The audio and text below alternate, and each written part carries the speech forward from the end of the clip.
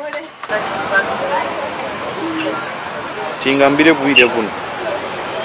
therefore what we've noted that there is a lot of corruption in the recruitment system more especially at local government levels.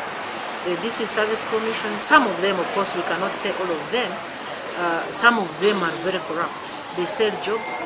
And if we use internet for application for interviews for display of, of results I think it can reduce a bit on human interaction and it will curb corruption. this fiber optic cable, this government infrastructure, is going to enable offices in Hoima to access information from the offices in Kampala or in other regions. So sharing of government information shall be uh, quicker and cheap. Nila